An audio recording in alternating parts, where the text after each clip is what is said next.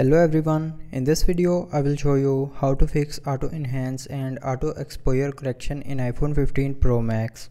So before starting the video, don't forget to subscribe the channel and also press the bell icon. So first of all, open settings.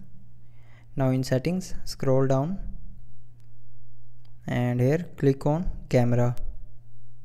Then here scroll down and turn off this lens correction and after turning off lens correction go back and click on photos.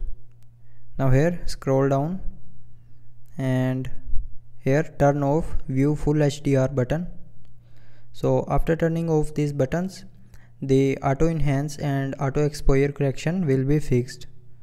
So that's how you can fix this problem in iPhone 15 Pro Max. So I hope you liked the video. Thanks for watching